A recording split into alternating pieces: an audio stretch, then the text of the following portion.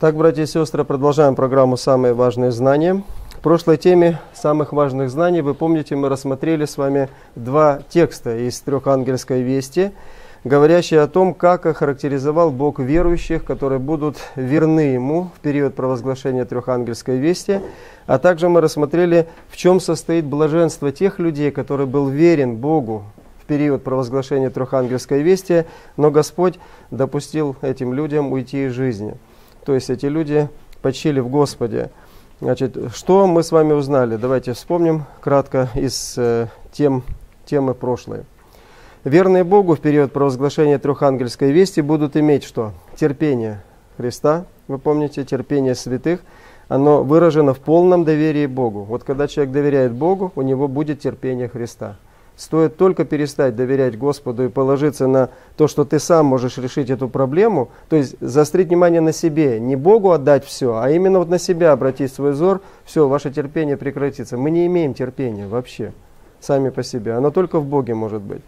Поэтому э, в полном доверии Богу воспитывается наше терпение, а также эти люди должны иметь веру Христа, с помощью которой они будут соблюдать все 10 Божьих заповедей. Сами мы по себе не способны соблюдать ни одну заповедь.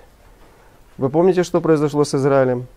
Что сказано? Поставили свою собственную праведность, уклонились от праведности Божией, потому что э, отвергли э, камень, который Господь дал, камень, который отвергли строители. То есть, иными словами, положились на самих себя, стали толковать заповеди в соответствии со своим грешным состоянием сердца, и получилось, что у них закон Божий приобрел тот вид, который устраивает грешного человека. А во Христе закон Божий явлен таким, каким он есть на самом деле, святым.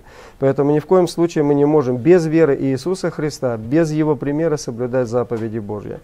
И также мы сделали еще с вами один вывод, что блаженство верных, умерших в период трехангельской вести, состоит в том, что они по персональному обещанию Бога будут воскрешены накануне второго пришествия Христа в частичном воскресении, для того, чтобы вместе со 144 тысячами услышать, как Бог заключает завет свой с теми, кто соблюдал все 10 Его заповедей. Это особое обещание Бога, и оно исполнится. Бог верен своим словам.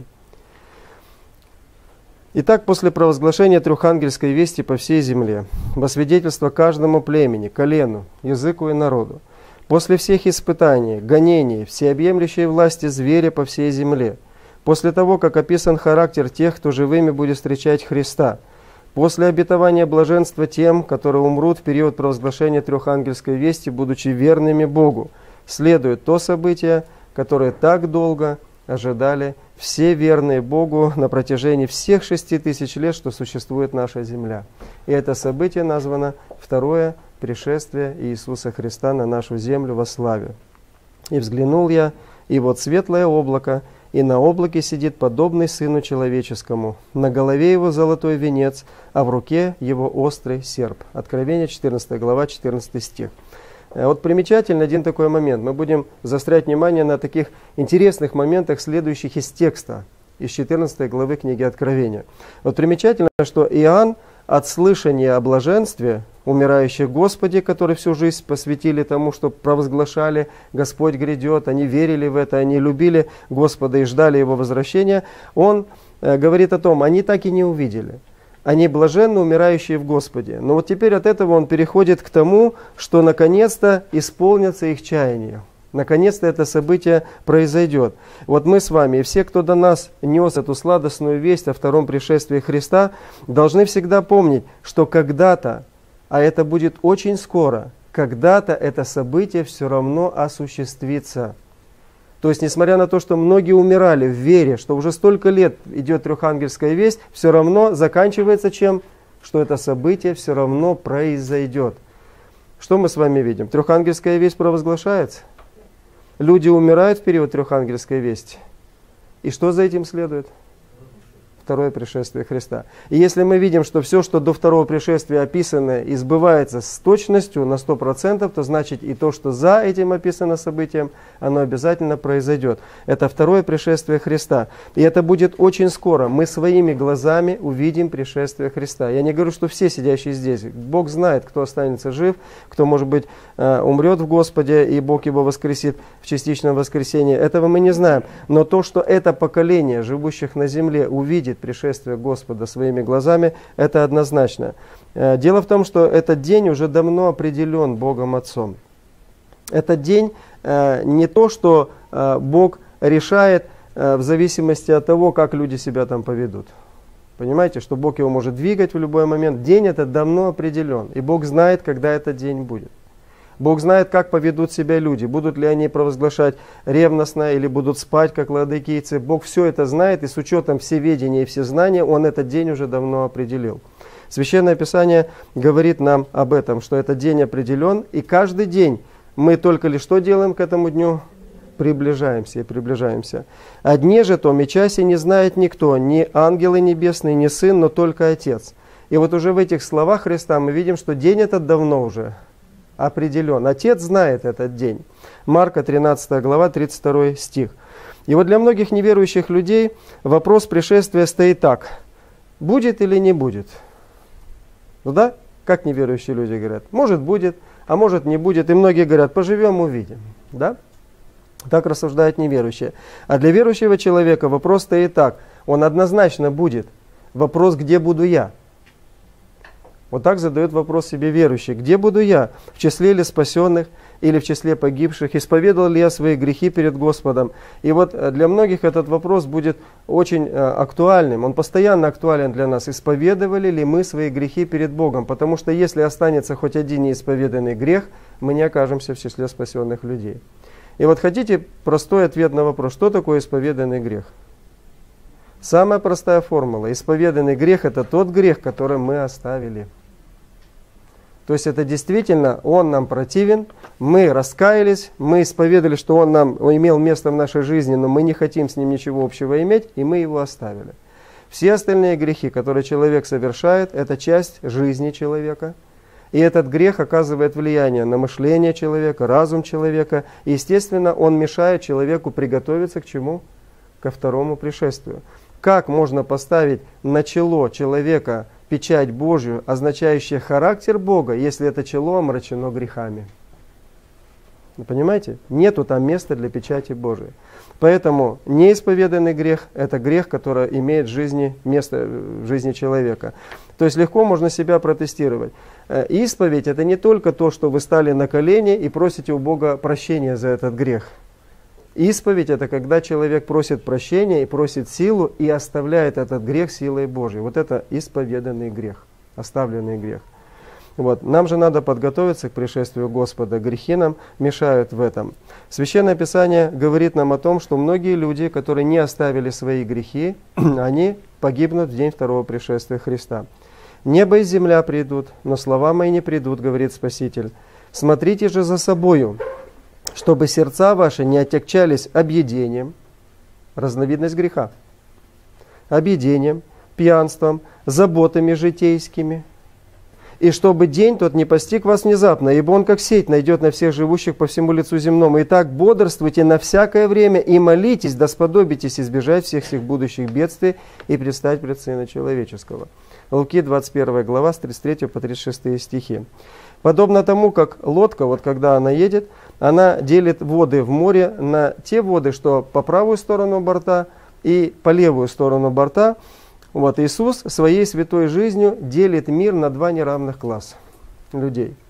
Вот жизнь Христа, он, помните, что о нем было сказано? Сей лежит на что? На падение и на восстание многих в Израиле. То есть одни, глядя на его жизнь, будут падать все ниже и ниже, ожесточаясь, из-за того, что не хотели оставить грех. Свет пришел в мир, но люди возлюбили тьму. И фарисеи, садукеи, книжники из-за Христа, вот из-за его святой жизни стали становиться все хуже и хуже и хуже. То есть не он их спровоцировал к этому, но их нежелание оставить грех подталкивало их к тому, чтобы воевать против Христа, идти против него. И они пошли на падение. Но были те, которые были грешниками, и они хотели оставить этот грех, и для них это было на восстание. То есть они поднялись выше. И вот что мы здесь видим? Что лодка вот делит воду на по правому борту, по левому борту, так и жизнь Христа, она делит людей на два класса. Один класс – это те, которые верят, что силы Сына Божьего достаточно, чтобы они оставили грех и стали соблюдать заповеди Божьи и жили святой жизнью. Вот они в это верят. Для чего Христос пришел? Чтобы избавить нас от греха. и приготовить Господу народ приготовленный, чтобы это был святой народ. Вот для чего пришел Сын Божий, чтобы сделать нас святыми. Другие же в это не верят, но при этом могут оставаться верующими людьми и говорить такие слова, ну это же невозможно, мы же все-таки грешники, ну, ну как вот мы можем жить святой жизнью, мы грешники. Когда говоришь о Христос, они говорят, ну что Христос, это же Христос, это Сын Божий. И вот поэтому Христос сегодня делит верующих людей на два класса. Одни верующие верят, что можно жить святой жизнью, другие верующие, но не верят что можно жить святой жизнью. И из этого делаем вывод, насколько они верующие.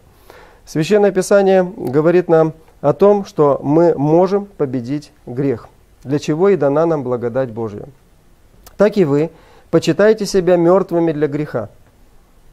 Понимаете слово «мертвый для греха»? То есть, иными словами, грех не может над мертвым иметь никакой власти – и живыми же для Бога во Христе Иисусе Господе нашем. Итак, да не царствует грех в смертном вашем теле, чтобы вам повиноваться Ему в похотях Его. Грех не должен над вами господствовать, ибо вы не под законом, но под благодать. Заметьте, что не грех должен надо мной господствовать, а что должен верующий человек?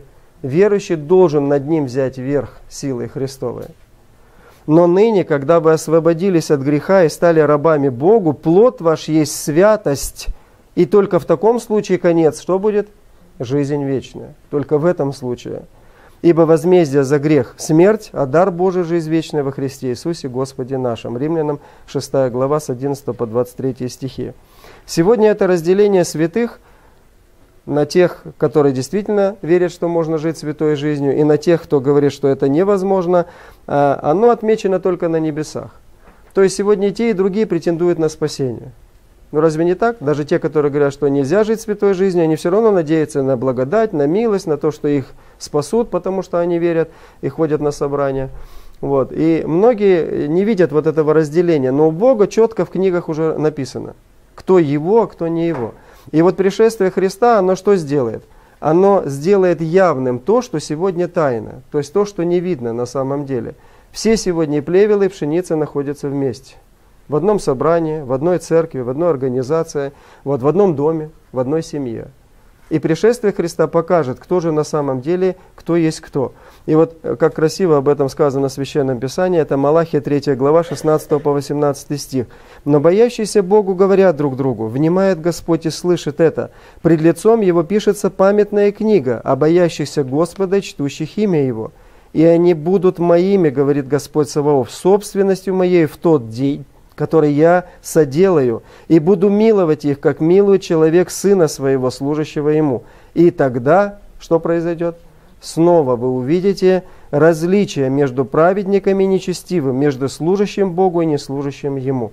В тот день что произойдет? Разделение. То есть Господь покажет, кто же служил Ему на самом деле, а кто не служил. Малахия 3 глава 16 по 18 стихи. Второе пришествие Христа для истинного народа Божия будет самым радостным событием жизни. Вот они им жили этим событием, они его возвещали. И для них нет смысла жизни без этого события. Вот просто нет смысла жизни. Отними у них э, эту истину, и они не будут видеть, для чего им вообще, собственно говоря, жить. И скажут они в тот день, вот Он Бог наш, на Него мы уповали, Он спас нас, все есть Господь, на Него уповали мы возрадуемся и возвеселимся во спасении Его. Исайя 25 глава, 9 стих. Скажите, вот в свете того, что вы только что услышали, вы действительно относитесь к той категории, для которых второе пришествие – смысл жизни? Вот подумайте, хорошо, для вас это есть смысл жизни? То есть, иными словами, вот если бы можно было бы представить себе хотя бы на миг, не будет пришествия, не будет вообще. Вот все будет так идти от начала творения, все останется как и прежде. Вот сможете ли вы остаться теми же людьми, теми же верующими без этой истины о втором пришествии? А какой смысл тогда? Какой смысл тогда жить? Какой смысл этих собраний? Какой смысл вообще тогда священного писания? Вы понимаете, цель священного писания – нас сделать святыми, а сделать святыми для того, чтобы мы могли где жить и с кем находиться? С Богом в святых обителях. И если этого не будет, то просто святой для земли, вдали от Бога, это ничего. Смысла в этом никакого нету.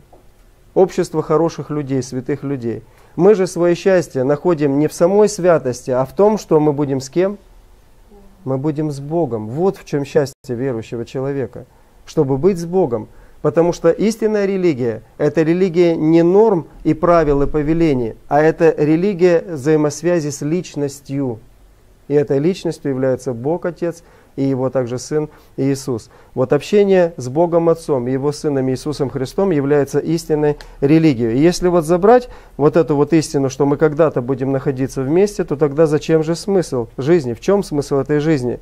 А жизнь не имеет смысла, если человек не стремится к высшим идеалам.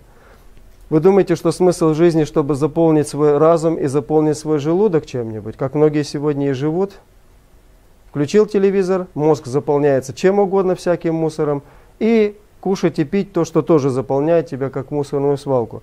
Если сегодня люди думают, что в этом смысл жизни, то я вам скажу, что это просто биологическое существование.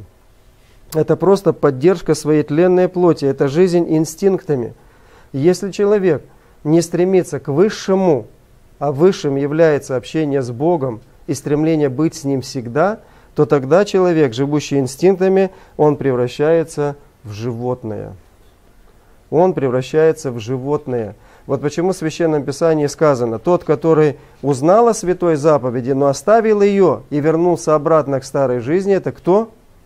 Это вымытая свинья, которая идет валяться в грязи.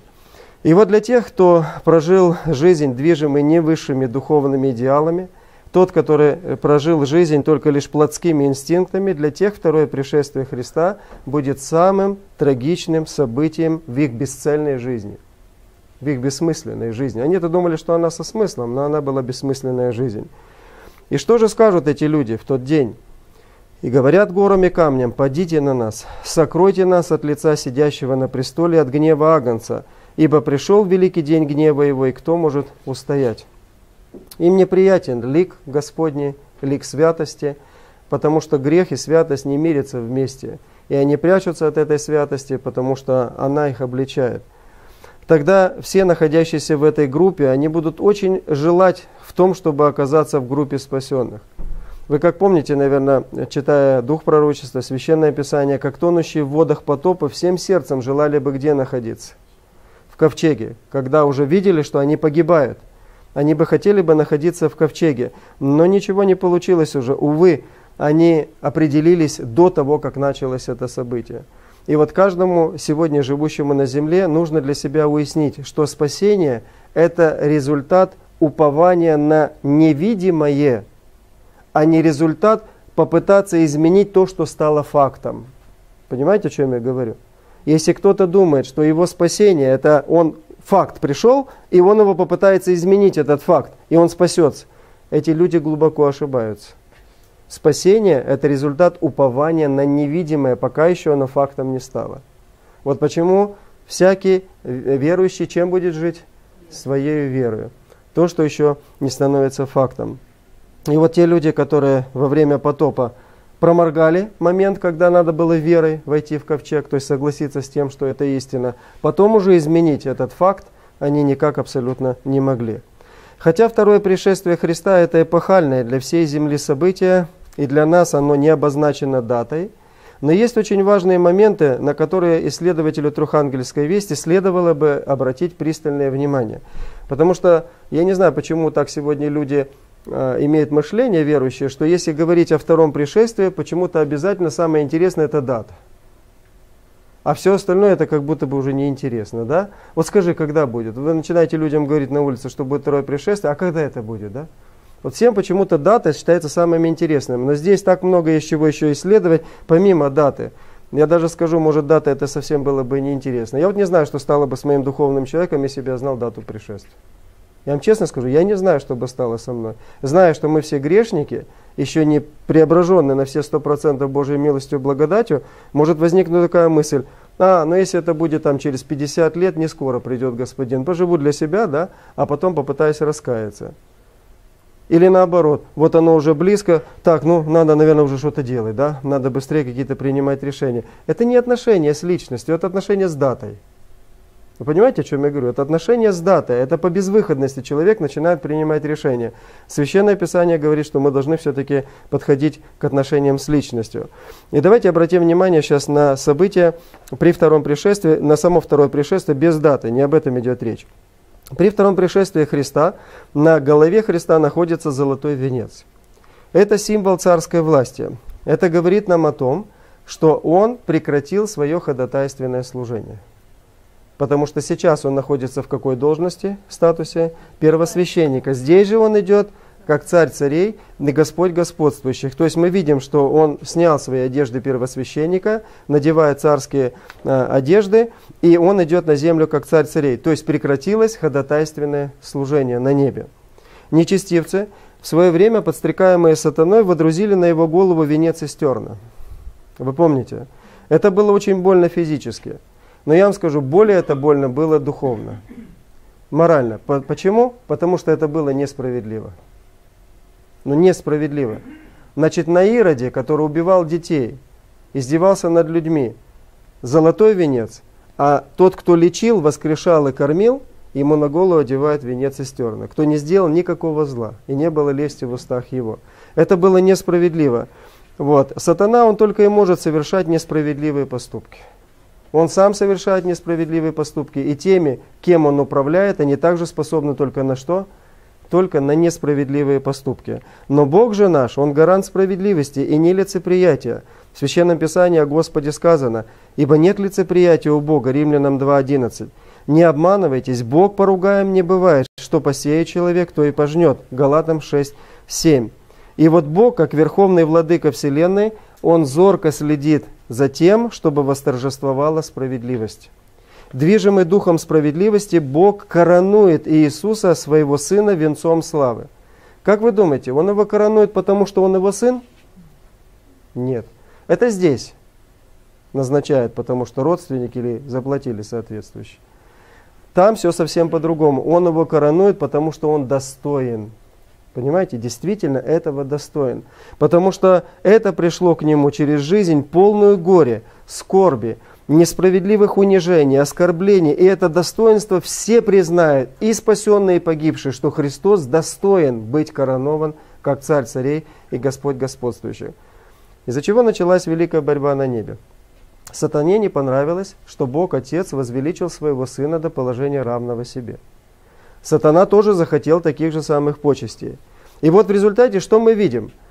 Сатана показал, каким он правителем является вот здесь у нас на земле. И Христос показал в борьбе с сатаной, каким является он правителем.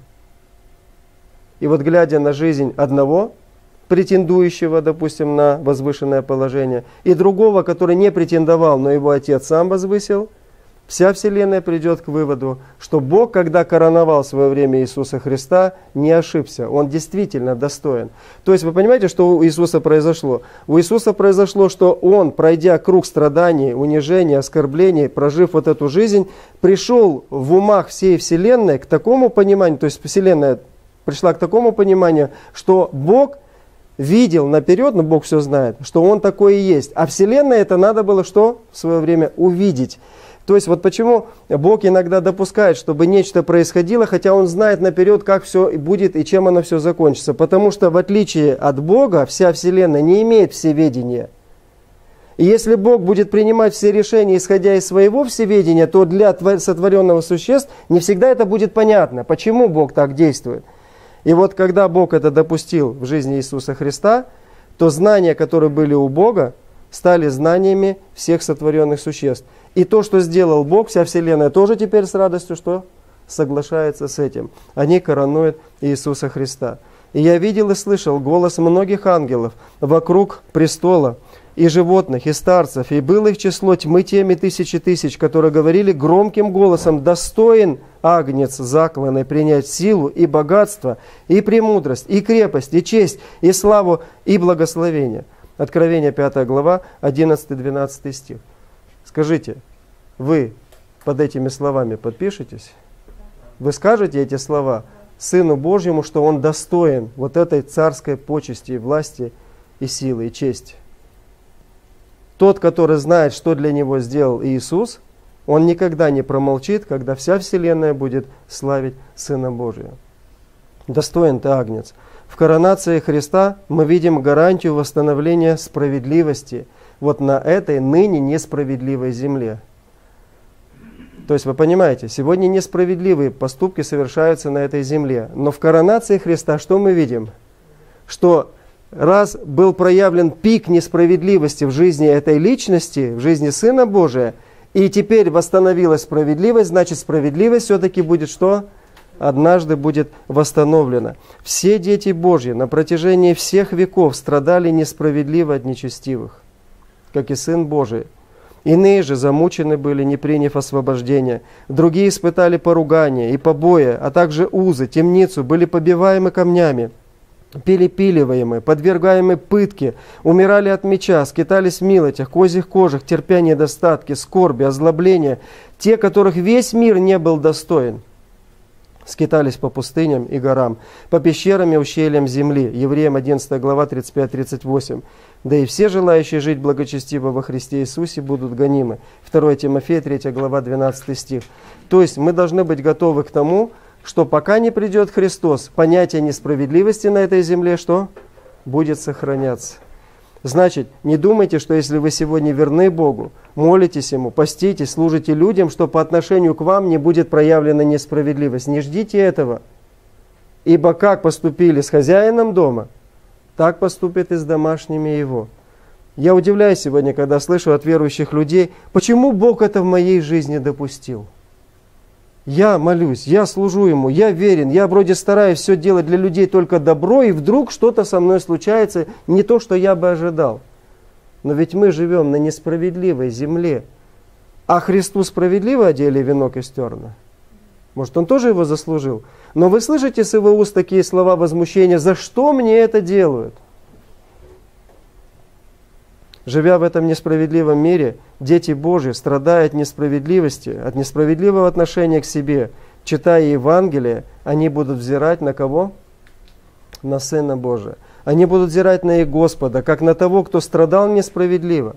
А читая книгу Откровения, они будут взирать на Христа, как на того, на ком было показано восстановление справедливости, в ком было показано восстановление справедливости за прожитую им жизнь. Помните, дорогие братья и сестры и друзья, наша сила в борьбе против несправедливости не в нас самих. Мы очень быстро можем потерять терпение святых и выйти из себя, когда по отношению к нам проявлена несправедливость. Наше терпение святых покоится в Господе Иисусе – которого несправедливо короновали терновым венцом, но справедливость восторжествует тогда, когда сам Бог ее восстановит, эту справедливость. Вот в Боге, когда мы сокрыты, мы не выйдем из себя никогда. И терпение святых будет нашей частью нашего характера. Свергнем себя всякое бремя и запинающий нас грех, и с терпением будем проходить предлежащее нам поприще, с терпением, даже при несправедливости взирая на начальника и совершителя веры Иисуса, который вместо предлежавшей ему радости претерпел крест, пренебрегший посрамление и воссел одесную престола Божия. Помыслите о претерпевшем такое над собой поругание от грешников, чтобы вам не изнемочь и не ослабеть душами вашими. Вы еще не до крови сражались, подвязаясь против греха. Евреям 4, 12 глава с 1 по 4 стих. При своем возвращении Христос представлен нам с острым серпом в руке. Острый серп, он легко срезает стебли, и при этом зерно остается в колосе и не просыпается на землю. Заметьте, тонкая деталь, острый серп. Вот если, ну, уже многие не знают, как серпом работать, вот не работайте, уже не жнут э, люди дома у себя, как раньше было в дни Христа, не убирают колосья. Но если бы вы могли проэкспериментировать, взять острый серп и тупой серп, и вы увидели, какая разница в жатве.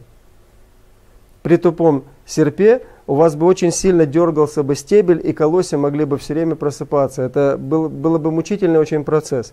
Но именно в остром серпе мы находим мысль такую, что все колосья останутся в колосе.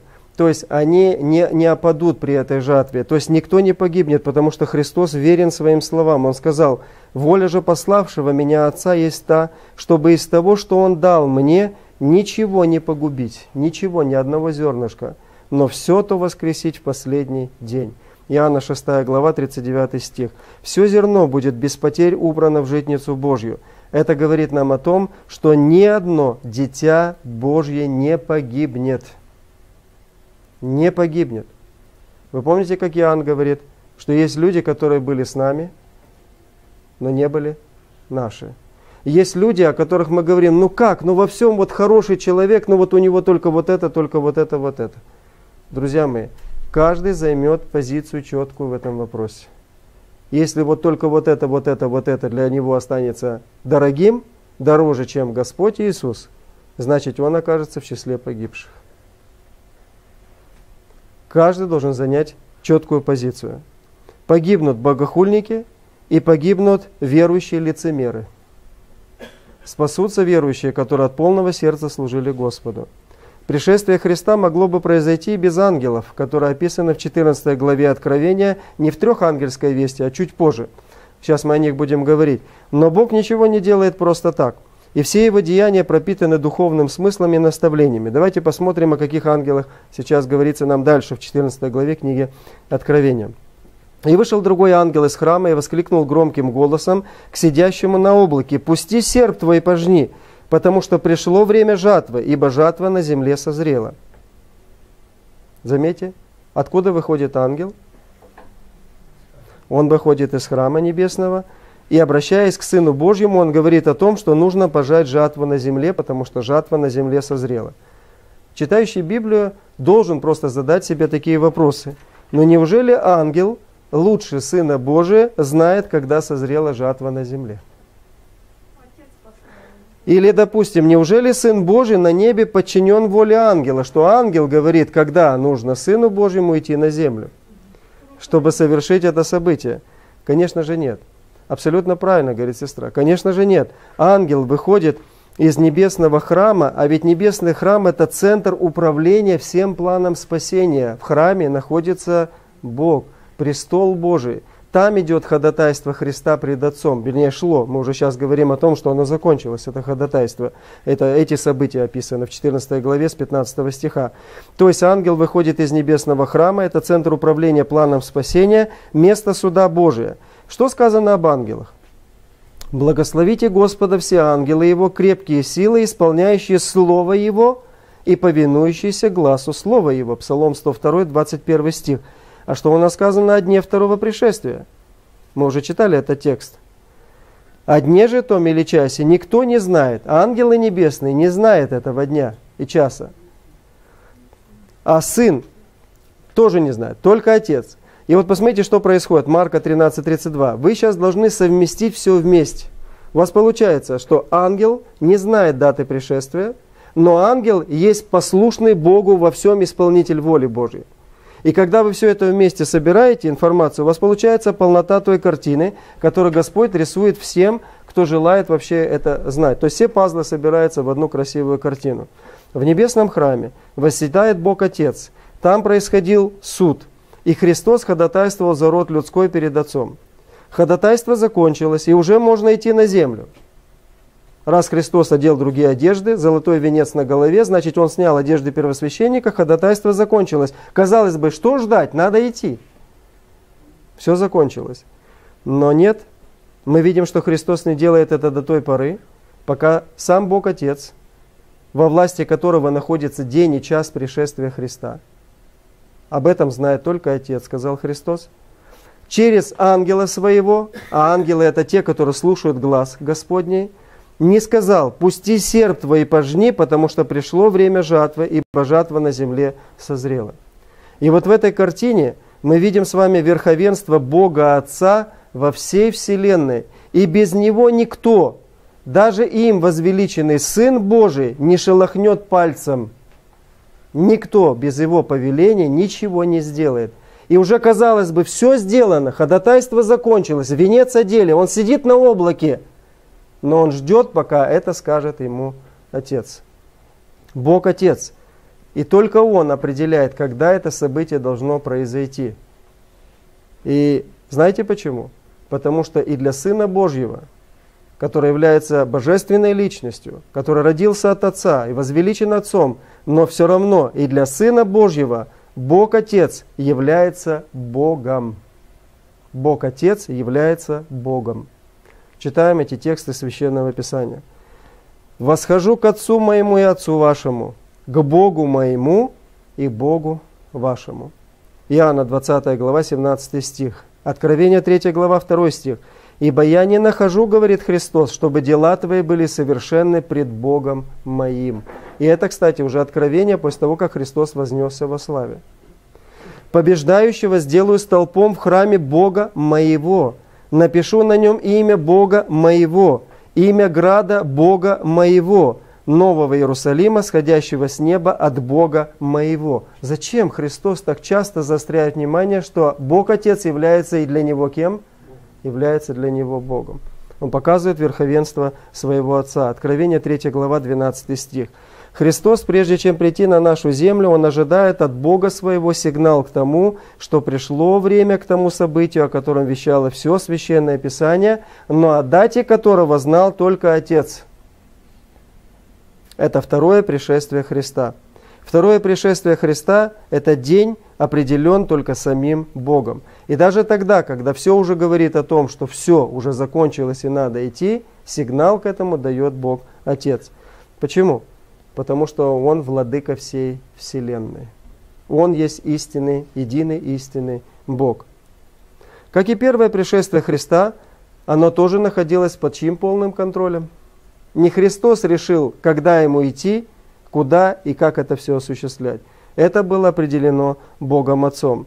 Он, включая и время рождения Христа от женщины, и весь план спасения Бог держал в своих руках, в своем управлении. Но когда пришла полнота времени, Бог послал Сына Своего Единородного, который родился от жены, подчинился закону, Галатам 4.4. А посланиях к евреям Христос говорит, ты мне уготовал тело. Почему Бог Отец именно дает в данный момент сигнал Христу в том, чтобы пожать землю? Что подвигло Бога Отца на это решение? Почему именно в данный момент? Не раньше, не позже, а именно в данный момент. Ведь можно было чуть позже сказать. Можно было бы чуть раньше сказать, ну как, ну в принципе, да, можно же было. Что-то подвигло Бога на это решение. И давайте мы сейчас исследуем этот вопрос. Почему Бог сказал в данный момент, что надо идти на эту землю Сыну Его? Ответ в словах Божьих, которые ангел говорит Христу. «Пусти серп твой и пожни, потому что пришло время жатвы, ибо жатва на земле созрела». Откровение 14.15. Это очень глубокая истина. Мы уже какой раз ее смотрим. Она сокрыта, эта истина в этих словах. Заметьте, что Бог определил день второго пришествия непроизвольно опираясь, допустим, например, какие-то на математический расчет. Сегодня очень многие пытаются что-то вычислять по юбилеям что-то вычисляют, там по каким-то годам вычисляют, сколько лет до потопа, после потопа, еще дополнительная милость. Мне это напоминает, как 153 рыбки, которые были пойманы в сетями, начинают раскладывать на 144 тысячи, на Отец, Сын и Святой Дух, еще там 7 дней творения, получается полный кавардак. То есть э, не надо вот эти формулы, друзья мои, истина это не математика. Это не математика. Поэтому не надо вычислять даты второго пришествия с помощью каких-то формул. Бог определяет дату не по формулам, а в зависимости от духовного состояния людей. Вот заострите это раз и навсегда в своем сердце, заложите эту истину, чтобы она здесь жила у вас постоянно. Не по формулам, не по датам, а именно по духовному состоянию людей определяется дата пришествия Христа. Посмотрите на этот текст. Не медлит Господь исполнением обетования, как некоторые почитают то медлением, но долготерпит нас, не желая, чтобы кто погиб, но чтобы все пришли к покаянию. Что вы здесь видите? Чем определяется дата? Формулой какой-то? Какими-то годами? Ну, в нашем человеческом понимании. Чем? От чего зависим Господь в определении даты? Что Он поставил в зависимость этой даты? Жизнь человека, не желая, чтобы кто погиб, но чтобы люди пришли к покаянию. Иными словами, когда уже никто не сможет прийти к покаянию, тогда что произойдет? Вот тогда и произойдет пришествие. Придет же день Господень, как тать ночью, тогда небеса шумом придут, стихии же, разгоревшись, разрушатся, земля, все дела на ней сгорят. 2 Петра, 3 глава, 9-10 стих. Итак, Бог определяет день второго пришествия Христа в зависимости от отклика людей, в зависимости от их выбора, от их духовного состояния. Посмотрите слова. «Пожни жатву». Почему? Потому что жатва на земле созрела. Вы понимаете, почему? Что определило день пришествия?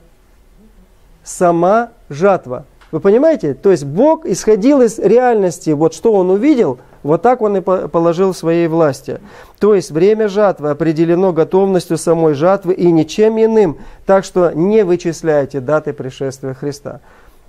Разве не сам Бог через природу нас учит, что время жатвы зависит от состояния самой жатвы? Разве не так мы учим, учимся от Господа через природу, которая нас окружает? В холодный год, запоздалой весной, день жатвы задерживается или не так? Почему не убирают раньше? Потому что не созрело. А что зеленое зерно? Кому оно нужно? Что с ним произойдет в амбарах? Оно сгниет, оно испортится. А в хороший год, допустим, или с ранней весной, жатва будет раньше – и если задержать жатву в ранний год, то зерно осыпется, и вы не соберете также вовремя жатву. То есть, несмотря на то, что есть как бы рамки для жатвы июнь-июль, ну как бы грубо, да, вот так вот можно поставить эти два месяца, но в зависимости от погоды, от созревания жатвы, числа будут ходить в этих рамках. Иными словами, мы сегодня имеем рамки. Будет папство возвысится, сатана будет через Америку работать. Нам сказано, что будут войны, наводнения, землетрясения. Это рамки, которые должны быть, и они указывают на события второе пришествия. Но в этих рамках все будет зависеть от того, как люди будут в этих событиях себя вести.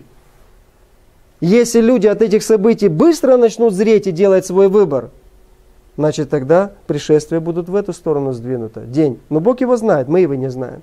Но если люди будут тянуть что-то, долго зреть, значит сдвинется чуть-чуть в эту сторону, в этих же рамках, но в зависимости от жатвы, от состояния духа самого человека. И вот это очень важно понять нам, потому что только состояние самой пшеницы определяет день пришествия Иисуса Христа. Бог не желает, чтобы кто погиб, но чтобы все люди были спасены. И хотя мы и знаем пророчество о последних событиях, предвестниках второго пришествия Христа. Но второе пришествие Христа произойдет только тогда, когда созреет на земле жатва. То есть каждый человек на земле займет четкую позицию, на чьей он стороне, дитя Божие или дитя дьявола, и уже изменить будет ничего нельзя. Не потому, что Бог не захочет, чтобы люди изменили. Ведь Он говорит, я хочу, чтобы все пришли к покаянию. Значит, если сегодня ты дитё дьявола, но можешь прийти к покаянию, то время жатвы не наступит, потому что ты еще можешь изменить свое решение, а Бог этого хочет. Но если идет день пришествия, то значит тогда люди займут такую позицию, при которой уже никто свое мнение менять не будет. То есть определяться на все сто процентов. Все. Так, что уже изменить будет ничего нельзя. Они не захотят менять, не Бог, а они не захотят уже ничего менять. И вот через притчу о бесплодной смоковнице нам дано уразуметь, по какому признаку Бог определяет, что жатва созрела. То есть, иными словами, как он видит, что верующий человек уже все решение своего менять не будет. И сказал с ее притчу, некто имел в винограднике своем посаженную смоковницу, и пришел искать плода на ней, и не нашел. И сказал виноградарю, вот я третий год прихожу искать плода на этой смоковнице, и не нахожу, сруби ее. На что она землю занимает? Но он сказал ему в ответ – Господин, оставь ее и на этот год, пока я копаю, обложу ее навозом, не принесет ли плода? Если же нет, то в следующий год тогда уже срубишь. Луки, 13 глава, 6-9 стих. То есть, смотрите, что происходит, как в этой притче все четко, все на своих местах стоит. В определенное время, время для сбора смог, хозяин уже третий год приходит к посаженной смоковнице за плодами, но их нет. И это уже, в принципе, достаточное основание для того, чтобы что сделать? Прекратить ее существование, этой смоковницы. Садовник говорит, давай дадим еще один шанс и сделаем еще что-нибудь для нее, более благоприятные условия для плодоношения, и если уже это не поможет, тогда приведешь свой приговор в исполнение. Но разве не так и мы смотрим на то, что посажено у нас в огороде? Если уже и поливал, и ухаживал, и окапывал, а оно все вот ну никак, то легче что сделать? Вырвать, а на это место посадить другое. То есть это правильно, это однозначно. И вот из притчи следует, что и у благодати есть предел. Вы заметили, что это следует из притчи? Да, тебя окопают, тебя обложат навозом, тебе дадут еще шанс. Но если ты не воспользуешься этим шансом, то время благодати для тебя закончится. Это следует из этой притчи. И после этого последует правосудие. И вот как на примере Ветхом Завете, на примере израильского народа, посмотрите, что говорит Господь, что Он делает тогда, когда люди неправильно пользуются Его благодатью. Он обнес его ограды, очистил его от камней, насадил в нем отборные виноградные лозы, построил башню посреди его, выкопал в нем точило и ожидал, что он принесет добрые грозды. А он принес дикие ягоды. И ныне жители Иерусалима, мужи Иуды, а вы переносите это на второе пришествие, и ныне небожители, ангелы, что мне для земли еще надо было сделать? Христос пришел, умер, благодать была дана, Дух Святой работал над сердцами, Библия дана – все уже сделано. Ангелы трудились по спасению этих людей, постоянно, служебные духи. Что еще надлежало бы мне сделать для виноградника моего, чего я не сделал ему? Почему, когда я ожидал, что он принесет добрые грозды, он принес дикие ягоды? Итак, все, время благодати закончилось. Итак, я скажу вам, что сделаю с виноградником моим. Отниму у него ограду, будет опустошаем, разрушу стены его, будет попираем и оставлю его в запустении. Не будут ни обрезывать его, ни вскапывать его, зарастет он терными волосами, и повелю облакам не проливать на него дождь. Исайя 5 глава, со 2 по 6 стих. И вот из этих стихов следует, что Богом было сделано все для плодоношения, но добрых плодов все нет и нет. И справедливым будет возмездие, и справедливым будет наказание от Господа. Вот почему и нечестивые, что скажут? Истины и праведны суды твои. Они увидят, что действительно они сами не захотели идти э, к спасению своему. Вы видите, что Библия говорит нам о том, что день пришествия Господа Христа будет определен Богом на основании духовного состояния людей, живущих на земле. Духовного состояния. И знаком того, что время пришествия настало, будет уже то, что никто из людей не захочет, не захочет перейти из лагеря погибших в лагерь спасенных, что-либо изменить. То есть, иными словами, человек не захочет от состояния бесплодия в духовном отношении перейти к состоянию обильного плодоношения во славу Господню. То есть люди не захотят ничего менять. Или еще проще можно сказать, никто не захочет уже обратиться к Господу. Не захотят. Помните, как было перед Вавилонским пленом сказано израильскому народу? Обратитесь на пути древние, пойдите этими путями. Но что они сказали? Не пойдем. Ну раз не пойдете, пойдете в Вавилонский плен. Не пойдем. Люди определятся. И вот об этом определении мы читаем слова Христа, которые Он скажет по окончанию ходатайственного служения. Посмотрите внимательно. Неправедный пусть еще делает неправду. То есть куда идет неправедный? К обращению, к покаянию? Нет, он все больше и больше что делает в своем беззаконии? усугубляет свое положение духовное, бездуховное точнее. Нечистый пусть еще сквернится, праведный дотворит правду еще. Видите, они пошли в разные стороны. Этот идет нечестие все больше и больше, а этот возрастает все больше и больше в Господе. Все, они уже в эти стороны не пойдут, только вот сюда, в разные. Итак, святой да освящается еще. Се гряду скоро и возмездие мое со мной, чтобы воздать каждому по делам его. Откровение 22 глава, 11-12 стих. То есть, Будьте внимательны. Только Бог, испытывающий наши сердца, знает тот день, когда каждый живущий на земле человек в своем сердце сделает окончательный свой выбор. Кто это только знает? Только Бог. Кто же наши сердца знает? Только Бог. И поэтому в свете вот этой истины, которая открывается нам из Библии, я задаю вопрос. Друзья мои, как вы взяли на себя смелость определять дату второго пришествия Христа? Вы что знаете каждого человека, чем он дышит и чем он движим? Всех людей на земле вы знаете? Да сегодня даже ни одна спецслужба в мире не знает этого. Тем более духовное состояние, внутреннее состояние, которое не видно для человеческого глаза порой. Кто знал, что у разбойника творится, когда он смотрел на страдания Христа? Это только Бог знает.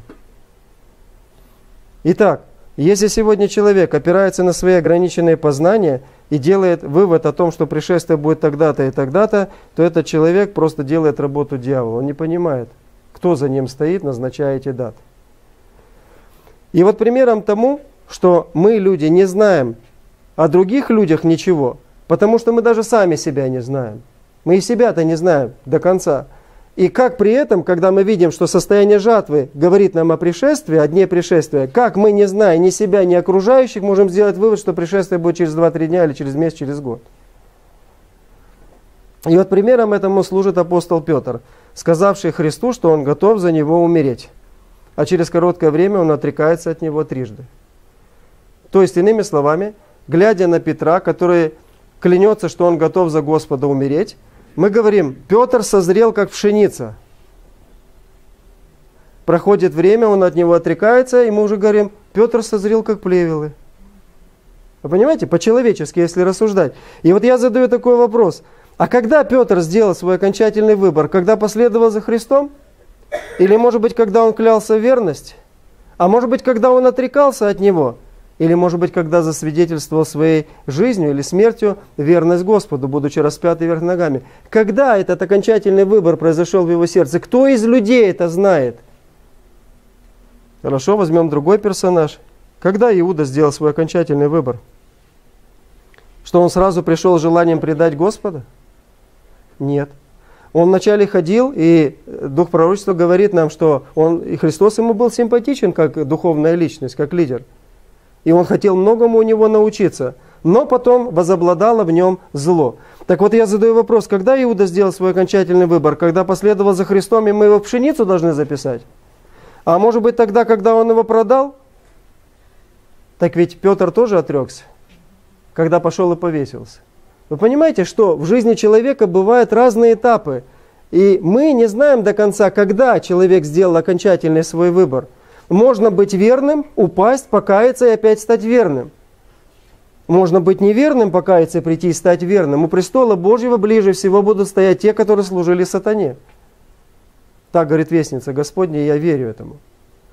То есть, вы видите, мы не знаем этого. А раз мы этого не знаем, то и определить, когда жатва на земле созрела, мы не можем. А пришествие без созревания жатвы не будет. Не будет. Мы должны четко для себя уяснить, что только Бог знает, когда взрослые, в том числе и дети, в том числе и младенцы, которые рождаются, когда они будут в таком состоянии, что Евангелие их не изменит даже тогда, когда они вырастут. Понимаете, о чем я говорю?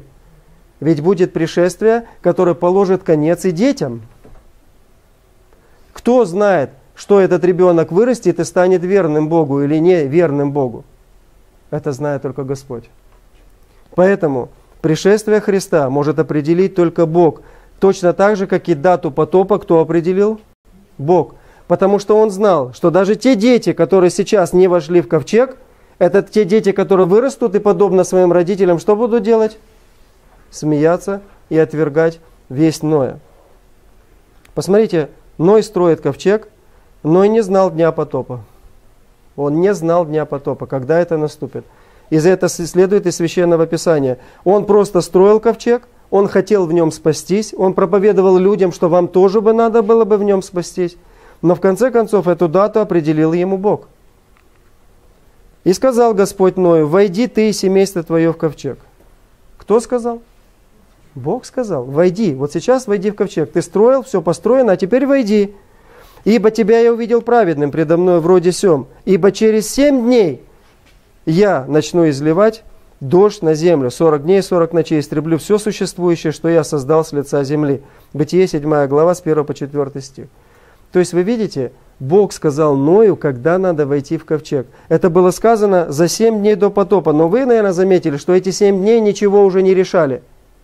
Потому что двери благодати были уже закрыты. Точно так же, как и пришествие услышат люди, воскресшие в частичное воскрешение, но тогда уже при язвах ничего изменить будет нельзя. То есть люди сделали свой окончательный выбор. Точно так же и при втором пришествии Христа. Бог, знающий сердца людей, скажет своему Сыну через ангела. Почему это делается через ангела? Чтобы это услышала вся Вселенная, а мы об этом могли прочитать. Вот мы сейчас прочитали и можем понимать, что Бог хочет нам донести до сознания. Что все живущие на земле наконец-то уже определились. Пусти серп твой и пожни, потому что жатва на земле созрела. Люди определились. Все. Определяет конец времени не ходатай, определяет конец времени судья. Иными словами, не Сын Божий, а Бог Отец, Владыка всего сущего, определяет, когда наступит созревание жатвы. И вот этому есть очень интересный библейский прообраз. Посмотрите внимательно. «И подошел Авраам и сказал, неужели ты погубишь праведного с нечестивым?» В данном случае мы видим, что Христос, который пришел к Аврааму, выступает как прообраз Бога Отца. Авраам здесь выступает как прообраз самого Христа, ходатая. И вот посмотрите, что происходит у нас. Неужели ты погубишь праведного с нечестивым? Может ли быть, может быть в этом городе есть 50 праведников? Неужели ты погубишь и не пощадишь место сего ради 50 праведников в нем? Что делает Авраам? Он ходатайствует. Христос в данный момент как судья, определяющий, не может быть, чтобы ты поступил так, чтобы ты погубил праведного с нечестивым, чтобы тоже было с праведником, что с нечестивым. Не может быть это от тебя. Судья всей земли поступит ли неправосудно? Господь сказал, если я найду в этом городе Содоме 50 праведников, то ради них я посижу место сие. Авраам сказал, да не прогневается владыка, что я еще однажды скажу, может быть найдется там 10. Я сократил, там они все меньше и меньше шли. Он сказал, не истреблю ради десяти. И теперь обратите внимание, что происходит? И пошел Господь, перестав говорить с Авраамом. Авраам имел еще возможность что-либо сказать? То есть можно было еще опускать ниже, ниже, ниже. Но кто показал своим действиями, что больше ходатайства бессмысленно, ничего не будет? Господь развернулся и пошел, перестав говорить с ходатаем, перестав говорить с Авраамом. Авраам же возвратился в свое место. Бытие 18 глава 23-33. «Никто из нас не свят. Мы все согрешили, лишены славы Божией». Но вот в Библии есть четко указана характеристика спасенных, что значит определиться в вопросе своего спасения. То есть, мы как бы себя не знаем хорошо, но я вам скажу, что в свете все-таки Библии мы можем получить некую уверенность, что мы на правильном пути, и что Бог нас определит к жатве, к спасению. Посмотрите внимательно на эти тексты. Они омыли, это о спасенных идет речь. Они омыли, это слово еще означает выстирали. Хозяйки, знаете, что такое стирать? Это нужно бороться с этой, да? Побороться надо с этой грязью, пока наконец она что не сделает? Теперь вам понятно, что такое исповеданный грех? Исповеданный грех – это тот, которого нет на твоей одежде, на твоем характере. Она должна быть белоснежная. Они выстирали одежды свои, убелили, а убелили слово «белить» – делать белым одежды своей кровью Агнца. Через что мы приходим к святости? Через кровь Христа, через Его силу, через Его пример, через Его милосердие, прощение и любовь. Кровью Агнца. За это, вот теперь ответ, за вот это они пребывают ныне пред престолом Бога, служат Ему день и ночь в храме Его, и сидящий на престоле будет обитать в них. Откровение 7 глава 14-15. Посмотрите внимательно, как соединяется все в одну красивую картину. Пришествие Христа будет тогда, когда жатва на земле созреет. Жатва – это и спасенные, и погибшие. В данном случае мы говорим о спасенных, пшеница. Как жатва определиться, что она созрела? Что должно произойти с людьми верующими? Они должны со своей одеждой что сделать? Убелить ее, выбелить, чтобы не осталось в них грехов. То есть, иными словами, наше стремление к уподоблению Христу – это и есть наше созревание – Почему праведный будет что делать? Творить правду. Еще и святой что будет еще делать? Он будет освящаться. То есть он будет очищаться и убеляться. И вот кто, тот, кто занимает вот эту позицию, позицию избавления от греха и к стремлению к святости, он будет в глазах Бога созревшей жатвой. Их выбор, вот этих людей, заключался в том, чтобы признать себя грешником – и через жертву Христа очищаться от грехов, стремиться к святости Божией, явленной в жизни Иисуса Христа. И вот тот, кто занял эту позицию и не сворачивает с этого пути, невзирая на падение, может быть, на э, разочарование в жизни, вот все равно встает праведник и идет, и идет, и идет безостановочно туда, к святости Божией. Вот кто, кто эту позицию занял, тот определился к спасению. Тот определился к спасению. Посмотрите, как об этом сказано в Священном Писании. Но что для меня было преимуществом, то ради Христа я почел читою. Да и все почитает читое ради превосходства познания Христа и Иисуса Господа моего. Для Него, для Него, для Господа моего я от всего отказался. И все почитаю за ссор, чтобы приобрести Христа и найтись в нем не с праведностью от закона, то есть наше понимание, а с праведностью от Бога по вере. Говорю так не потому, чтобы я уже достиг или усовершился, но стремлюсь, не достигну ли я, как достиг меня Христос Иисус, братья, я не почитаю себя достигшим, а только забывая заднее, простираясь вперед, стремлюсь к цели, к почести Вышнего звания Божия во Христе Иисусе. Филиппийцам 3 глава 7 по 14. И Павел говорит, что вот этот человек в глазах Бога совершенный человек. Кто совершен, вот так должен мыслить. И поступая так в своей жизни, как только что мы прочитали, Павел мог сказать о себе, о своем состоянии, где он будет погибшим или спасенным. Он говорит – подвигом добрым я подвязался, течение совершил, то есть я не ушел ни налево, ни направо. Вот этот путь я выбрал, я им шел всю свою жизнь. Веру я сохранил, несмотря на трудности и испытания. А теперь готовится мне венец правды, который даст мне Господь, даст мне Господь, не может быть даст, а даст мне Господь, праведный судья в день он, и не только мне, но и всем возлюбившим явление Его, возлюбившим явление Его, дух, состояние духа. 2 Тимофея, 4 глава, 7-8 стих. Наше определение в пользу спасения в постоянном стремлении уподобиться Христу и ни в чем больше.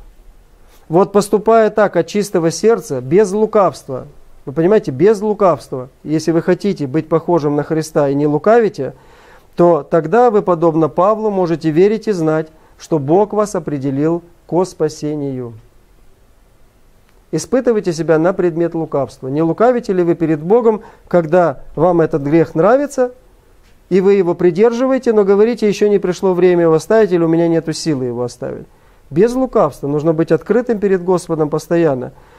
И вот Священное Писание говорит нам, что верующий человек уже может здесь на земле знать, что он определен к спасению, если он не лукавит, и если он от чистого сердца стремится уподобиться Христу. Мы же, будучи сынами дня, дотрезвимся, облегшись броню веры и любви в шлем надежды спасения, потому что Бог определил, или это слово означает положил, нас не на гнев, но к получению спасения через Господа нашего Иисуса Христа.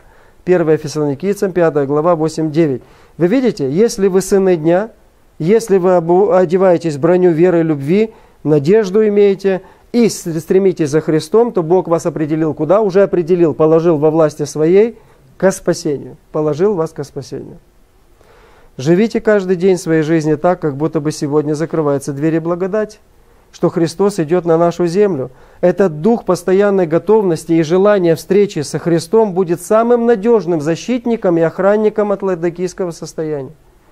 Знаете, почему церковь пала в ладокийское состояние? И почему мир впал в ладыкийское состояние? Потому что перестали ждать Господа. Что стало с рабом, который сказал, не скоро придет господин мой? На что он тут же обратил свой взор? Вместо небесного он обращает взор на земное начинает пить, гулять, есть и все. А Христос говорит, берегите, чтобы у вас сердца не отягчались обидением, пьянствами, заботами житейскими. То есть только постоянное ожидание Господа, вот этот стимул, вот этот дух, постоянное чувство, вот придет Господин, вот-вот Он придет, оно нас сохранит от ладыкийской беспечности. Замечательная иллюстрация полного доверия Господу в прикладывании своих собственных усилий для победы является вот эта библейская история. Посмотрите на нее внимательно. «И увидел Иав, что неприятельское войско было поставлено против него спереди и сзади». И собрал, и избрал он воинов из всех отборных в Израиле, выстроил их против сирийцев, а остальную же часть людей поручил Овесе, брату своему, чтобы он выставил их против аммонитян. И сказал Иав, если сирийцы будут одолевать меня, ты поможешь мне, а если аммонитяне будут одолевать тебя, я приду к тебе на помощь. Будь мужественен, и будем стоять твердо за народ наш и за города Бога нашего, а Господь сделает, что ему угодно. И вступил Иав и народ, который был у него в сражении с сирийцами, и они побежали от него. Аммонитяне же, увидев, что сирийцы бегут, побежали от Овес и ушли в город. И возвратился Иав от аммонитян и пришел в Иерусалим. Второе царство, 10 глава, 9-14 стихи. Посмотрите внимательно на эту интересную библейскую историю. Народ Божий, он окружен неприятелями с двух сторон. Что это для нас, вот для нашей духовной жизни? Мы сегодня атакуем и дьяволом и снаружи, и снутри. С двух сторон атакует нас сатана. Снаружи это когда нас обвиняют, пытаются вывести из себя, провоцируют на что-нибудь. Внутри это наши собственные грехи, наше несовершенство, которое имеет место, к сожалению, в нашей жизни. И вот смотрите, что нужно сделать. Пример Иава говорит о том, что нужно выставить против него войск. Господь говорит нам, выставьте против него Слово Божье, словословие, песнопение, веру, любовь, это то оружие, которое дал нам Бог в борьбе против дьявола. Вы понимаете, это оружие, которое дал нам Бог. Если люди печальны, псалмы, пойте написано. Если радуетесь, пойте псалмы. Слово Божие читайте. Это действенное оружие. Оно действительно помогает нам в борьбе с врагами. И заметьте еще очень интересный момент братского взаимоотношения Ява и Вес. Он говорит, если мне будет тяжело, помоги мне. Если будет тебе тяжело, я тебе помогу. Разве не тот же самый принцип изложен в Библии и в Священном Писании? Носите бремена друг друга. Или написано вот такое, такие слова. Если э, кто видит, что брат твой что сделал? Согрешил, то что сделай? Обличи, помоги, поддержи, э, наблюдай за собой, чтобы не быть искушенным в этот момент. Поддерживайте друг друга, чем более вы усматриваете приближение Дня Онного. Поддерживайте словословием и песнопением и изучением Священного Писания. И вот Бог, видя нашу искренность и наше желание победить и внешних, и внутренних врагов, обязательно дарует нам победу над ними, над нашими врагами. Внутри мы начнем избавляться от наших врагов, от наших грехов. А снаружи, я вам скажу, произойдет следующее. Либо наши враги станут нашими друзьями через Слово Божие, либо Господь даст нам такой духовный иммунитет от них, что нам будет все равно, что о нас говорят. Абсолютно все равно. Мы в терпении Иисуса – отдадим все в руки Божьи, что бы ни говорили, как бы ни поносили. Сойди с креста, и мы уверуем, что это ты. Ты же для этого пришел. А он где находился в этот момент вера Христа? В Отце покоилась. Двигаясь дальше по текстам 14 главы Откровения, мы читаем, что происходит на земле после повеления Бога пожать землю. «И поверг сидящий на облаке серп свой на землю, земля была пожата». Откровение 14.16. К большому сожалению, большому сожалению, сатана – и к описанию этого славного события приложил свою руку. Он внедрил сегодня в христианство два заблуждения относительно второго пришествия Христа. Эти два заблуждения, они даже друг другу противоречат. Но едины они в том, что и то, и другое ересь. Что это за два заблуждения, два обмана? Первое заблуждение учит тому, что речь идет не о буквальном пришествии Христа, а лишь о его невидимом присутствии. Что Царство Христа – уже установлено под его невидимым правлением и контролем. Это удивительно. А что ж сатана успевает так много пакости наделать в Царстве Христа? Это заблуждение возникло, во-первых, из-за однобокого понимания древнегреческого слова «парусия», которое имеет двойное значение – и пришествие, и присутствие. Но также это заблуждение от того еще родилось, что люди, которые толкуют или толкают эту теорию, не рассмотрели и другие тексты Священного Писания, говорящие о втором пришествии Христа, чтобы получить полную картину этого события. И вот этот обман легко обнаруживает себя в свете вот этих текстов, где используется древнегреческое слово «парусия». Будьте внимательны. «Я рад прибытию» Парусия, Стефана, Фортуната и Ахаика – они восполнили для меня ваше отсутствие. Павел говорит о своих помощниках. И он говорит, что я рад прибытию Стефана. Был ли Стефан до этого с ним или нет? Вы видите, что Стефан восполняет отсутствие этих братьев. Чем он восполняет? Своим присутствием. Был ли до этого Стефан с ними? Я рад прибытию, приходу Стефана.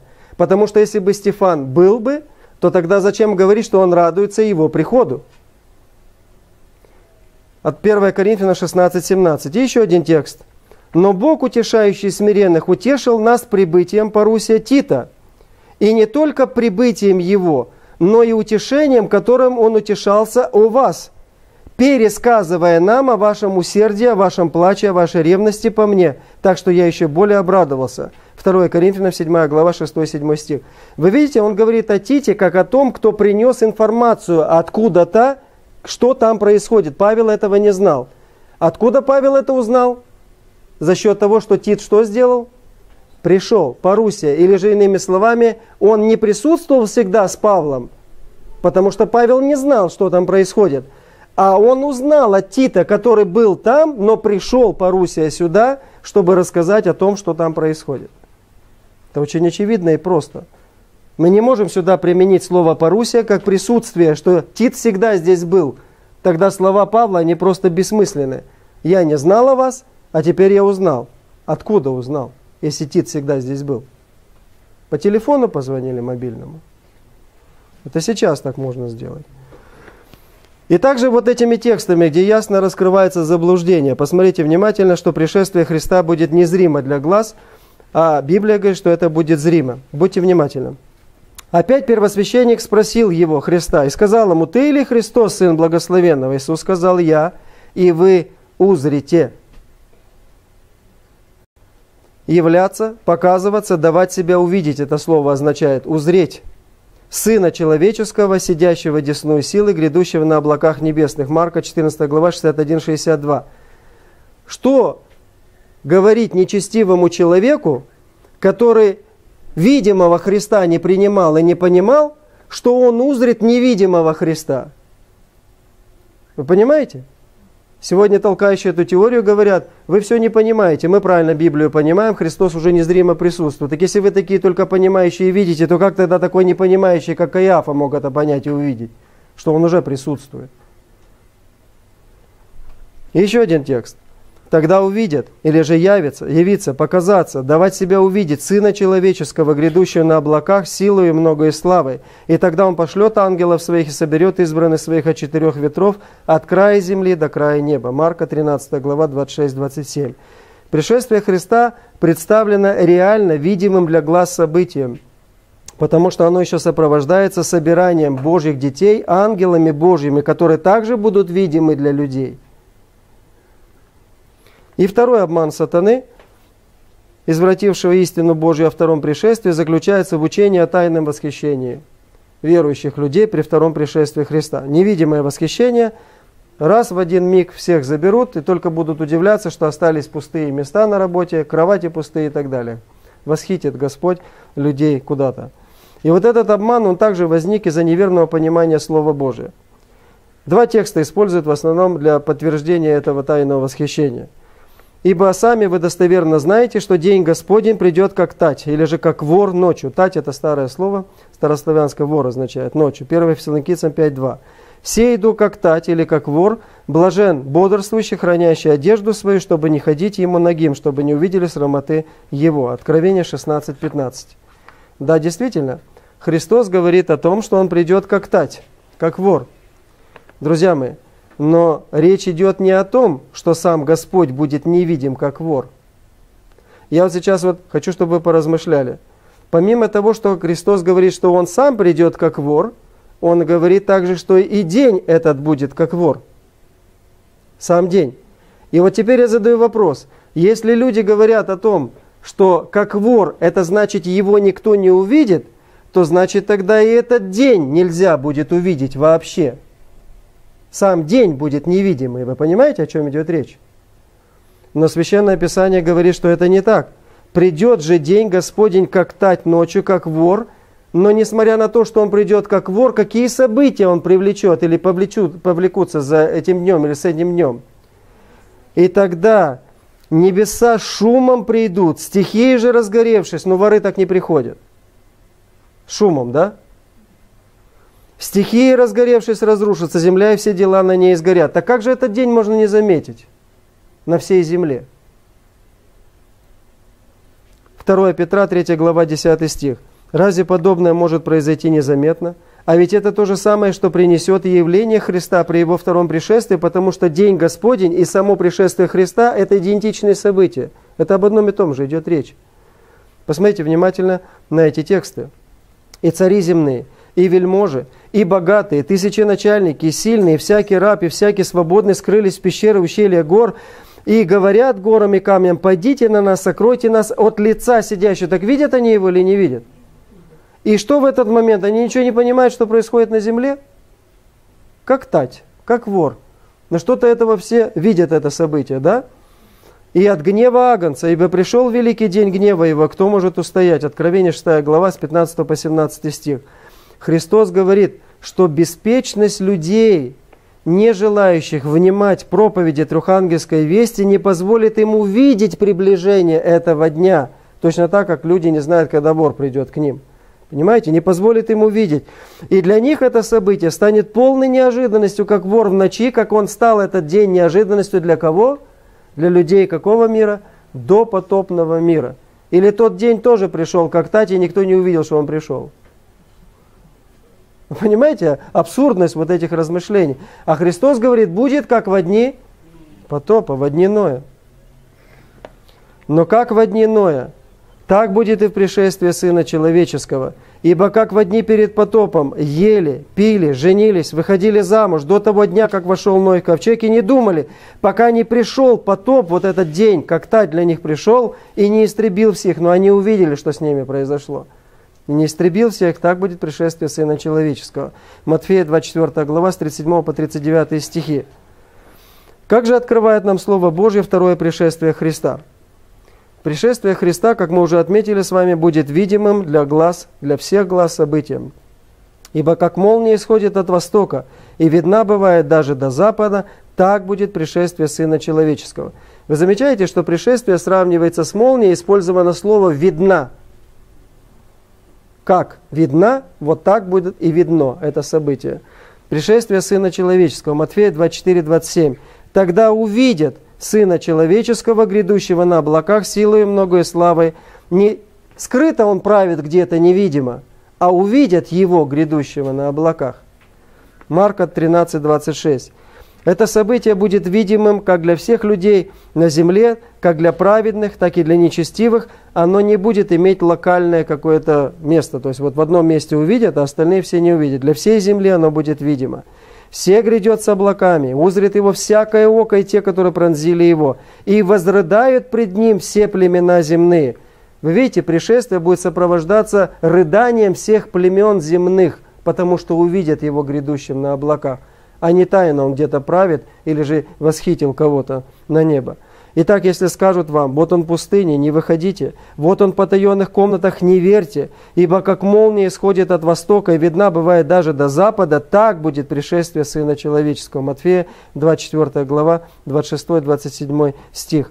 И цари земные, и вельможи, и богатые, и тысяченачальники, и сильные, и всякий раб, и всякий свободный скрылись в пещеры ущелья гор, и говорят горам и камням, падите на нас и сокройте от лица сидящего на престоле и от гнева Агнца. Ибо пришел великий день гнева его, и кто может устоять?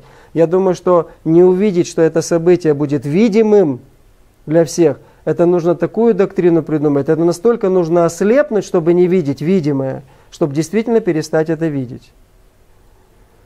Пришествие Христа будет слышимым для всех событием. Произойдет неведанное доселе вообще для всех живущих на земле неведомое доселе землетрясение, сильнейшее. Оно повлечет за собой колоссальнейшие изменения и разрушения.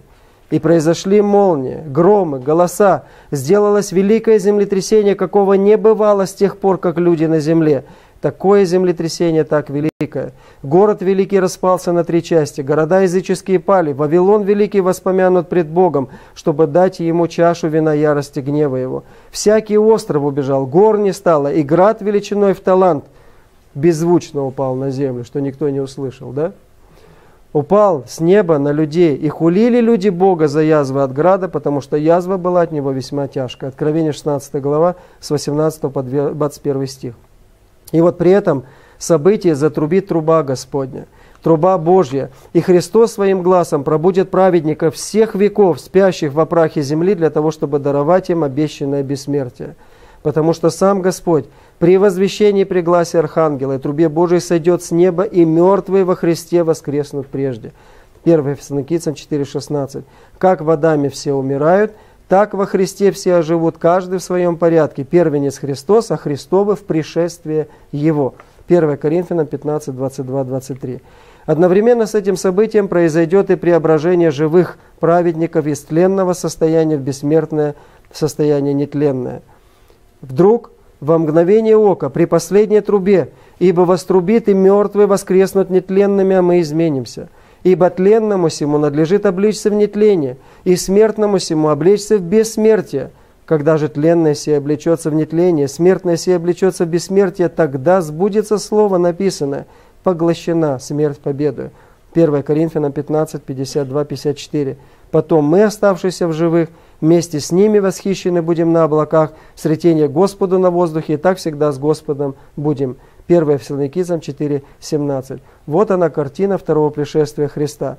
Нога Господа Иисуса Христа не ступит на эту землю при втором пришествии на землю Его. Праведники будут ангелами доставлены Господу на небесах. Вы видите, мы восхищены к Господу на небесах будем. Не Он пойдет на землю, а мы поднимемся на небеса. Это очень важный момент, потому что сатана – перед вторым пришествием Христа сделает подделку и захочет подделать вот эти события, явить себя под видом Христа. Но он будет ходить по этой земле. Он будет ходить по этой земле. Его явления будут иметь локальный характер. И увидеть его все смогут только по телевидению, но Библия говорит, не о телевидении узрит его всякое око. Вот, поэтому локальный характер. И плюс, когда сатана придет, небо не свернется, как свиток так, чтобы мы могли увидеть престол Божий. Это должно произойти при втором пришествии Христа. И более того, не будет всеобщего воскресения праведников при пришествии сатаны под видом Христа. Не будет также всеобщего уничтожения нечестивых, которое будет иметь место при втором пришествии Христа. Я вам скажу очень простой формулу, по которой, ну, не формула, а слова, по которым вы можете определить, что это не Христос пришел. Христос – придет с воздаянием. А сатана придет для того, чтобы кого-то еще склонить на свою сторону. То есть, иными словами, действия сатаны будут носить такой характер, когда еще что-то можно изменить. А пришествие Христа будет тогда, когда уже никто ничего изменить не может. Вы понимаете? Тогда явится знамение Сына Человеческого на небе – и тогда восплачутся все племена земные, и увидят Сына Человеческого, грядущего на облаках небесных, силою славой великой. И пошлет ангелов своих с трубой громогласной, соберут избранных его от четырех ветров, от края небес и до края их. Матфея 24, 30, 31 стихи.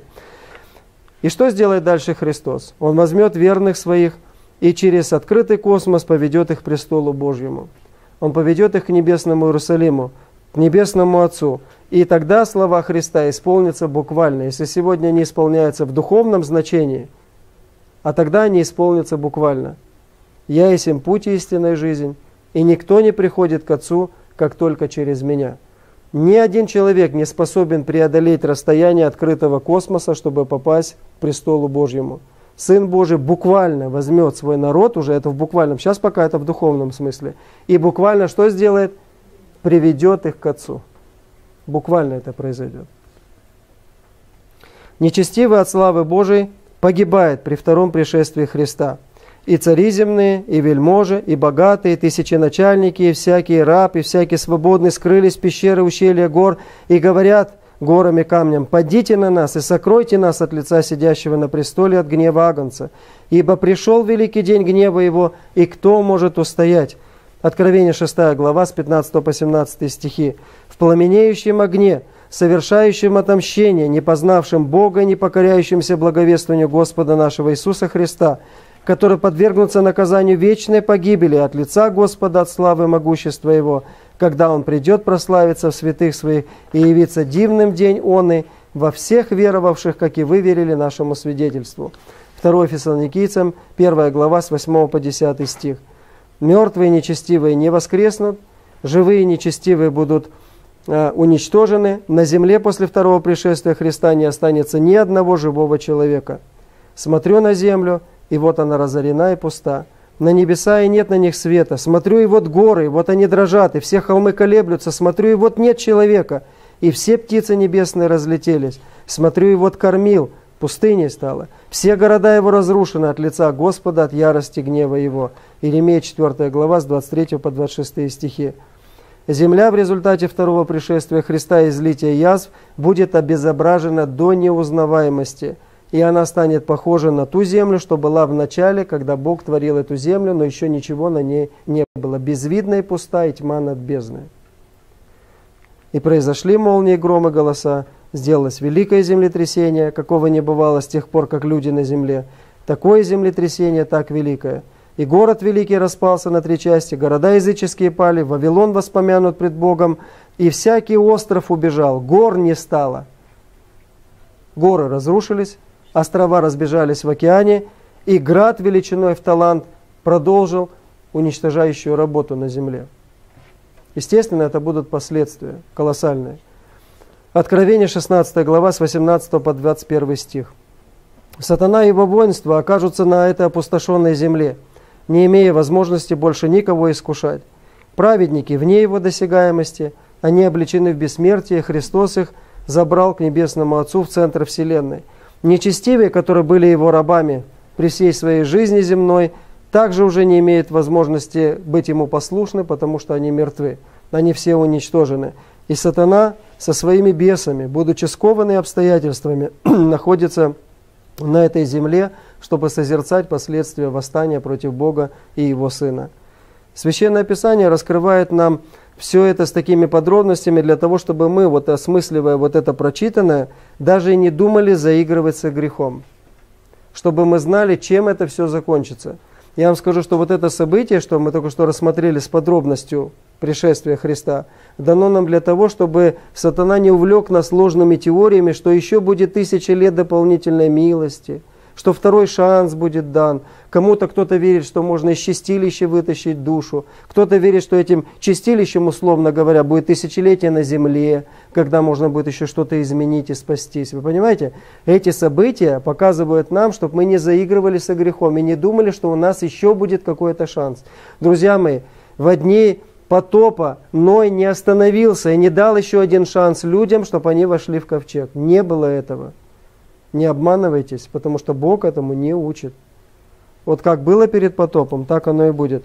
И чтобы змей не искусил нас и не дал нам какие-то ложные толкования второго пришествия, что можно еще что-то изменить. Возмездие за грех – смерть, а дар Божий – жизнь вечная во Христе Иисусе Господе нашем. Мы должны занять уже сейчас четкую позицию в этом вопросе по отношению возвращения Иисуса Христа на эту землю. Определитесь раз и навсегда для себя. Вы хотите Его пришествия? Вы жаждете Его? Ваше сердце может жить без этого события или нет? Если нет, то значит тогда стремитесь к этому постоянно. Слейте с этим ожиданием настолько, чтобы без этого ваша жизнь не имела никакого смысла. Я вот хочу закончить эту тему словами, которые написаны у Вестницы Божией относительно последних слов, которые сказал апостол Павел. Я вам скажу, я когда эти слова читаю, у меня все время наворачиваются слезы на глазах. Насколько этот человек любил Господа. Насколько он любил Господа. Мы сидим здесь на собрании, а его ведут на казнь. И вот он знает, что сейчас его обезглавят. Вы представьте себе хотя бы на миг эту ситуацию. Нас ведут на казнь, нас хотят обезглавить сейчас, и мы не увидим больше ничего. Жизнь закончилась. И вот апостол Павел говорит вот эти слова. «О Господь, Ты мое утешение и удел мой, когда я обниму Тебя?» Когда я обниму Тебя? Когда я увижу Тебя глазами своими? Когда нас не будет уже разделять тусклая завеса? История спасения, глава Мунческая, смерть Петра и Павла. Друзья мои, протестируйте себя этим духовным вопросом.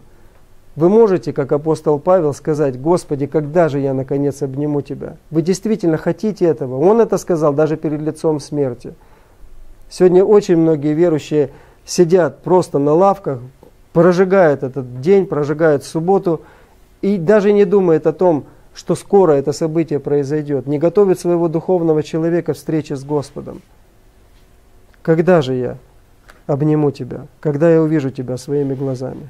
Вот если этот дух будет в нас, вы можете будете, можем сказать, как апостол Павел, что а теперь готовится мне венец, который даст мне Господь, потому что я его пришествие что сделал? Возлюбил, возлюбившим пришествие его. В следующей теме мы с вами рассмотрим истину о том, для каких верующих ожидание Христа просто бессмысленно. То есть они могут целыми днями смотреть на небо, они могут воздыхать в ожидании Христа. То есть мы узнаем, как можно быть адвентистом, ожидающим, не адвентистом в названии церкви, а адвентист в духе своем. Как можно быть ожидающим Христа, но при этом не будучи ожидающим Христа. То есть мы поговорим, как можно быть адвентистом по букве, а не по духу. Это следующая наша тема. Пусть же Бог прославится в жизни детей Его. Аминь.